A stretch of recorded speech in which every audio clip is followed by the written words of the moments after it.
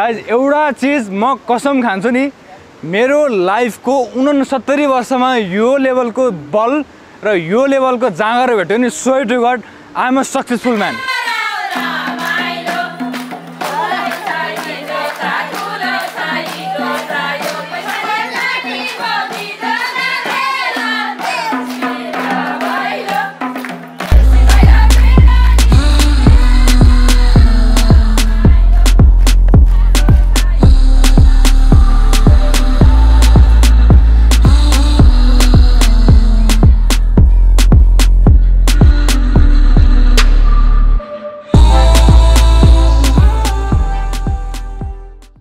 welcome back to another brand new episode of Rajin vlogs आज हामी छौँ सुकुटे बिचमा।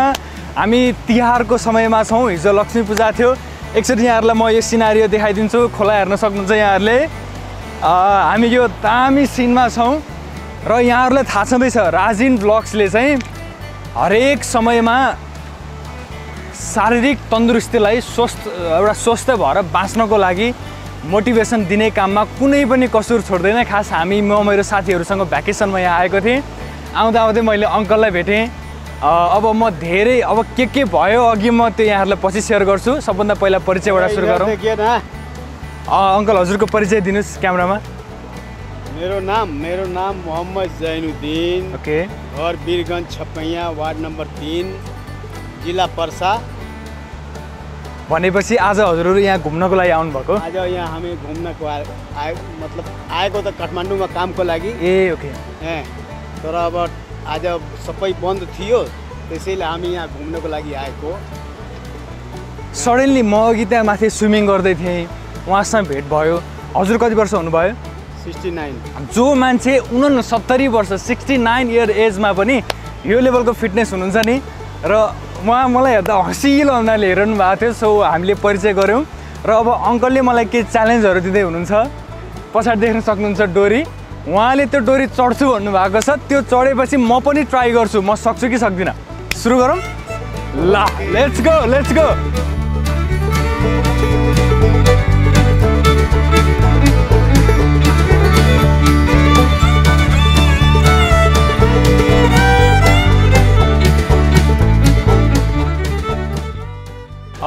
guys, here we go. 69 year old. उनसत्तरी वर्षको मान्छेले यो सब गर्दै हुनुहुन्छ। म उहाँलाई केही हेल्प गर्न गर्न सकेँ भने सक्छु। अब तर उहाँ आफै पनि गरिरहनु भएको छ।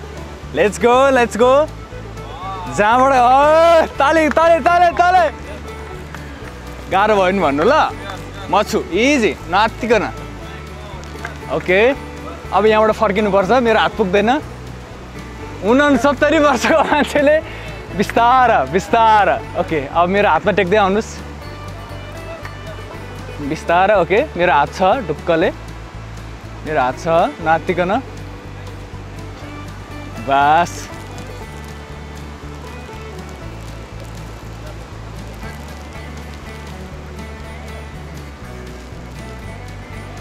बिस्तारै आउनुहोस् ठिक छ ठिक छ। नगल्लिकन आनन्दले। बास। क्यामेरा स्टप नगरौँ है क्यामेरा चलिराख्नु पऱ्यो है अन्तिमसम्म पनि। बिस्तारो अङ्कल। ल खुट्टा टेक्नुहोस् ओ एउटा चिज त एउटा बिस्तारै झर्नुहोस्। झर्नुहोस् मैले गर्नुपर्छ। गाइज एउटा चिज म कसम खान्छु नि मेरो लाइफको उनसत्तरी वर्षमा यो लेभलको बल र यो लेभलको जाँगर भेट्यो नि swear to God am a successful man मैले जेन्युनली भनेको। अब उहाँले गर्नुभयो उहाँले खास मलाई च्यालेन्ज दिनुभएको। लेट मी ट्राई मैले सकेन भने मैले हारेँ। होइन फेरि यहाँ जितको हार फेरि उनसत्तरी वर्षको मान्छेसँग कम्पेयर गर्न खोजेको होइन रमाइलोको लागि मात्रै हो। Let me try guys let me try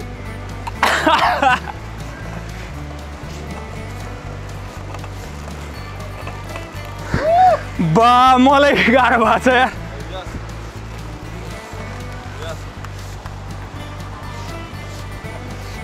but ल उहाँले दिनुभएको फर्स्ट च्यालेन्ज मैले कम्प्लिट गरिसकेँ।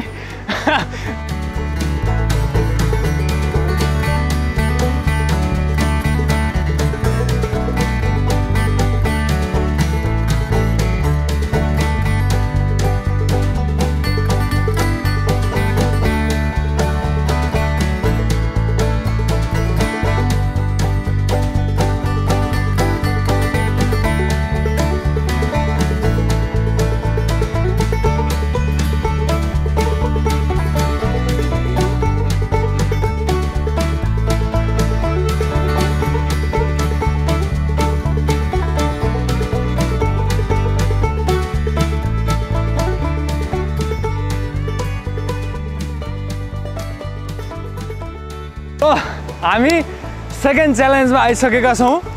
यहाँहरूलाई थाहा छँदैछ हामी जिममा प्रायः हामीले डेड लिफ्ट र डेड लिफ्ट स्क्वाड र बेन्च प्रेस चाहिँ हाम्रो मेन पावर लिफ्टिङमा हाम्रो परिरहेको हुन्छ। सो अब यहाँनिर यो खोलामा हामीले बेन्च प्रेस डेड लिफ्ट नभेट्यो भने डेड लिफ्टको बेसिक फर्म हाम्रो हेर्दैछौँ। र प्लिज नोट गर्नु होला यो रमाइलोको लागि मात्रै हो। यहाँ यहाँ च्यालेन्जको कुरा केही छैन खालि this is all about fun and sharing motivation so बुवा। हजुरले यहाँमध्ये जुन जुन ढुङ्गा उठाउनुहुन्छ म त्यही प्रयास गर्छु है त। जुन उठाउनु हजुरले एकचोटि उठाउनु पऱ्यो र बिस्तारै भुइँमा राखिदिनु पऱ्यो right let's let's go okay बास। यो मलाई दिनुहोस् त। बिङ अनेस्ट यो ढुङ्गा अराउन्ड डम्बेलको हिसाबले यो लगभग सेभेन्टिनदेखि ट्वेन्टी केजीको बिचमा छ। Twenty KG deadlift done. Okay योभन्दा एक स्टेप ठुलो। यो ट्राई गरौँ। अलिक ठुलो छ कि? ओके अलिकति ठिक्कको हामी ट्राई गर्छौँ। यो अराउन्ड लगभग पच्चिस केजीको छ। है हामी पच्चिस केजीको ट्राई गर्दैछौँ। पच्चिस केजी ट्वेन्टी फाइभ केजी हो गयो पच्चिस केजी डन है। एक्चुली यो ट्राई गरिदिउँ हल्का उचाल्नु मात्रै खुट्टामा लाग्नु भएन है। याद गर्नुहोस् है। ओके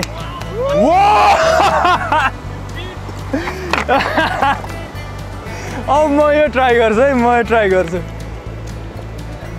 ओइ म कसम गरौँ छ यार यो। सिरियसली गरौँ छ। अनि सिरियसली तपाईँहरूले यो फिल पनि गर्न सक्नुहुन्छ होइन?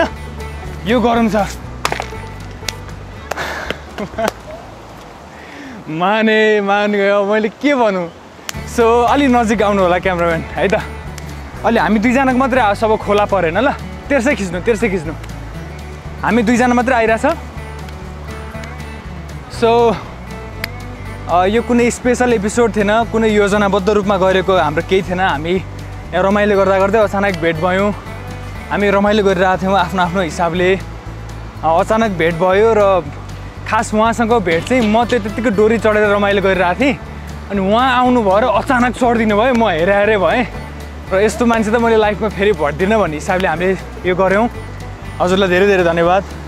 र अहिले विशेष गरी जो हाम्रो भनौँ न बिसदेखि लगभग पन्ध्र सोह्रदेखिको तिस पैँतिस पिच्चाका जवान मान्छेहरू छन् नि चाहे केटा होस् चाहे केटी होस्। हामीले यहीँ पनि देख्यौँ तपाईँले गर्ने जति पनि गर्न सक्दैनन्। फेरि गर्नै पर्छ भन्ने पनि होइन तर यसको अर्थ गर्न नसक्नु भनेको उनीहरू स्वस्थ छैनन् बलियो छैनन् भन्ने हो नि त। उनीहरूलाई के सल्लाह दिन चाहनुहुन्छ तपाईँ? क्यामेरामा हेरेर हजुरले। म त यो भन्न चाहन्छु कि उमेर चाहे जुन जे पनि होस् तर आफ्नो उमेरको हिसाबले समयको हिसाबले आफ्नो स्वास्थ्यलाई तन्दुरुस्त गर्नको लागि केही न केही गर्नुपर्छ। हो। चाहे जिम गरोस्। चाहे एक्सर्साइज गरोस् चाहे मर्निङ वाक चाहे जे पनि गर्नुपर्छ। हजुर चाहिँ आफू यसरी हेल्दी रहनलाई के के गर्नुहुन्छ के के खानुहुन्छ खाने र एक्सर्साइजमा हजुरले कसरी मिलाइरहनु भएको छ? म सबभन्दा पहिला त बिहान उठेर आधा घन्टा रनिङ गर्छु। रनिङ नै गर्नुहुन्छ? ट्रेडमिलमा कि बाहिर? पन्ध्र मिनट। बाहिर दौडिनु हुन्छ घर बाहिर निस्केर ओके घरबाट बाहिर फिल्डमा चाहे पार्किङमा गएर। पार्किङमा गएर हजुर। अनि आधा घन्टा पन्ध्र मिनट वाक गर्छु। ओके। पन्ध्र मिनट दौडेर उ गर्छु। अनि त्यसपछि पौन घन्टा एक घन्टा जति म एक्सर्साइज गर्छु। हस् अनि हजुरले खानामा चाहिँ कसरी? अनि त्यसपछि घरमा जान्छु। घरमा जाँदाखेरि मुखसुख धोएर फ्रेस भएर पपिता र स्याउ खान्छु म। ओके। बिहान बिहान मेरो बाह्र महिनाको मेरो त्यो मतलब डाइट त्यसको आधा घन्टा पछि दुईवटा चाहे तिनवटा रोटी खाएर रोटी तरकारी सब्जी जे पनि पाएँ त्यो खाएर म आफ्नो काममा गइरहन्छु अँ, हजुर दिउँसो के काम गर्नुहुन्छ बुवा? भन्न मिल्छ? मेरो आफ्नो फ्याक्ट्री छ गार्मेन्ट फ्याक्ट्री। फ्याक्ट्री छ गार्मेन्ट फ्याक्ट्री छ। भनेपछि बेलुका नर्मल घरमा जे जे पाक्छ त्यही भात अथवा रोटी तरकारी नर्मल जे पाक्छ त्यो त्यही खाने खान्छु। दिउँसो दुई बजे अढाई बजे तिन बजे म खाना खाना घरमा जान्छु। ए घरमै जानुहुन्छ बाहिर खानुहुन्न?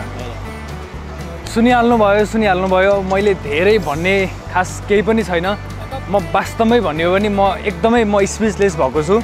र एउटा चिज मैले मेरो उमेरका मान्छेहरूलाई केही मैले म आजको दिनमा केबाट प्रभावित छु भने हाम्रो बुबाहरूको पुस्ता हाम्रो हजुरबुवाहरूको पुस्ता उहाँहरूको डिसिप्लिन खास फिटनेसको लागि हेल्दी हुनको लागि धेरै हुन्छ नि चर्को केही गर्नै पर्ने रहन्छ क्या जस्तो उहाँको सिम्पल। बिहानै आधी घन्टा एक घन्टा एक्सर्साइज गर्नुहुन्छ समयमा उठ्नुहुन्छ समयमा खानुहुन्छ समयमा सुत्नुहुन्छ। यति गर्दै हामी स्वस्थ हुन सक्छौँ उनसत्तरी वर्षको उमेरमा यो गर्न सक्छौँ भने हामी गरौँ हामी स्वस्थ रहौँ। हामीले धेरै बाँच्नु छ हामी धेरै स्वस्थ भएर बाँच्नु छ। होइन बुवा? भन्दै आजको एपिसोड हामी यहीँ टुङ्गाउँछौँ। बुबा जाँदा जाँदै के भन्नु छ? के भन्ने स्वास्थ्यको लागि आफ्नो जीवनमा तन्दुरुस्तीको लागि केही न केही त गर्नै पर्यो। तन्दुरुस्त रहनको लागि आफ्नो जीवनको लागि त प्रयास गर्नुपर्छ। केही न केही गर्नुहोस् होइन त। केही न केही गर्नुपर्छ केही न केही गर्नुपर्छ। हस् धन्यवाद बुवा धेरै धेरै धन्यवाद। हामी जाँदा जाँदै क्यामेरामा यस्तो गरिदिउँ न रमाइलोको लागि। हस् हस् बुवा।